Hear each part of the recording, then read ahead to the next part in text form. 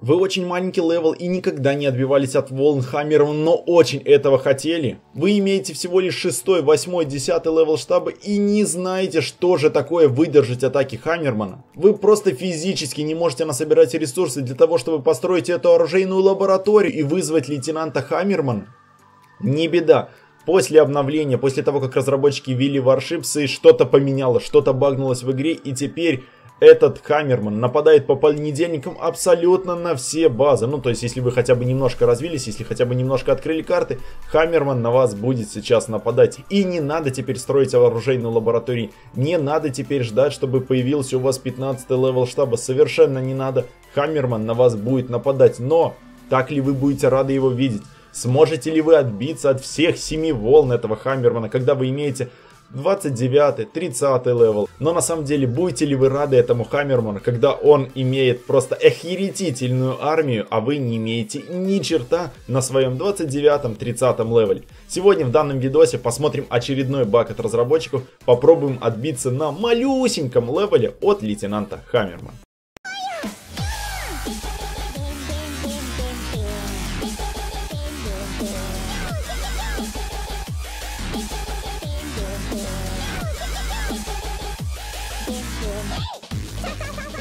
Всегда так было заведено в Boom Beach, что вы начинаете отбиваться от лейтенанта Хаммермана как только получаете 15 левел э, штаба, открываете оружейную лабораторию, и только тогда по понедельникам он начинает приплывать и нападать на вашу базу. Ну, всегда так было, реально очень долго так было. И что сейчас мы имеем?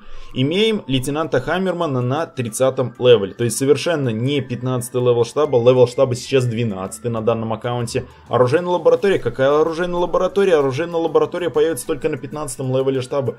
То есть все сместилось, все сдвинулось. И скажите мне, как на этом аккаунте отбиться от лейтенанта Хаммермана. Я для примера приведу свой максимальный левел аккаунта и попробую на своем максимальном левеле отбиться от первой волны. Ну, чтобы вы просто прикидывали разницу, как на максимальном левеле отбиваться от лейтенанта Хаммерман и как на минимальном левеле, даже когда вы даже физически не должны были его иметь, этого лейтенанта Хаммермана, как насколько трудно отбиться, и вы походу не рады будете, что лейтенант Хаммерман к вам приплыл, потому что вы потратите кучу нервов, потратите кучу золота и ничего в конечном счете не получите, потому что, например, за отбитие первой волны вы получаете одну детальку, которая вам никуда не идет, потому что у вас на данный момент нет оружейной лаборатории. Я не знаю, она вообще сохранится в дальнейшем, или это просто пшик. И получите один Intel. Но один Intel получить на реальной карте гораздо проще, чем отбиться от этой волны. Хорошо, давайте перейдем на мой максимальный аккаунт и попробуем отбиться.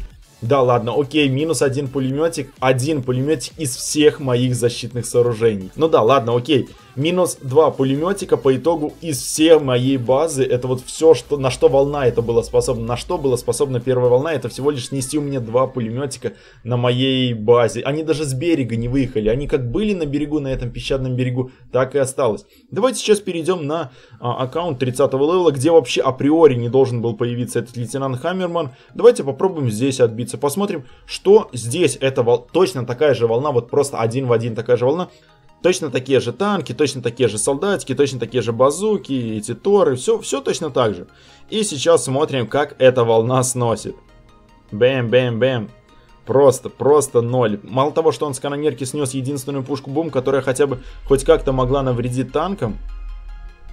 То есть все танки живы, живы базуки, живы солдатики, Какого черта? И чё, вот и чё мелкий аккаунт сейчас делает? Да, вы, возможно, рады. Вау, новое событие появилось, но по факту у вас больше, больше нервов сгорит, больше золота вы потратите, пытаясь что-то сделать с этой волной, и по факту вы ничего полезного не получите. Вы просто даже тупо не отобьетесь от этой волны. Это реально просто тупо нереально, когда у вас нет дефа.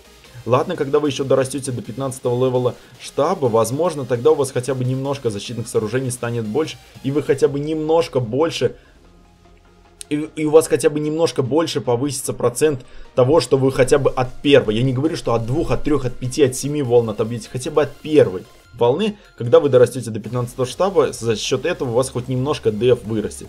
Ну а сейчас на данный момент вы видели это катастрофическое поражение. Ну вот собственно такой баг, я так понимаю, он появился у многих. Возможно он появился, этот лейтенант Хаммерман, когда вы открыли именно Кавана. Доктора Кавана, возможно, из-за этого баг пошел или из-за чего-то другого. Ну, короче, ну, на данный момент лейтенант Хаммерман есть, вы можете потыкаться, вы можете потыкаться, даже не имея 15 левел штаба. Но по факту просто тупо пшик. На самом деле это просто тупо пшик.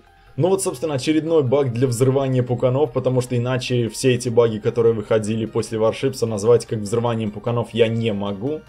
Если вам видос понравился, то, конечно же, ставьте лайки, подписывайтесь на канал, пишите комменты. Ну а с вами был Андрей Вар. Всем пока.